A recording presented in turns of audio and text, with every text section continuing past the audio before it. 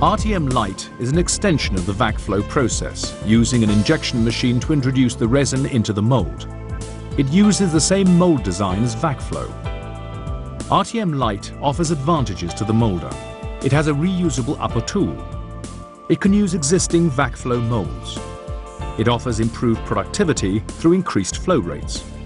It gives two molded surfaces. And it allows control over resin injection.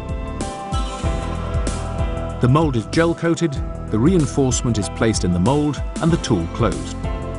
The mold is clamped by drawing full vacuum between the double seal. At the central takeoff point, a vacuum of 0.6 bar is drawn. However, in RTM Light, an injection machine is connected to the resin inlet port. A predetermined number of shots is then injected into the cavity at around 1 bar injection pressure.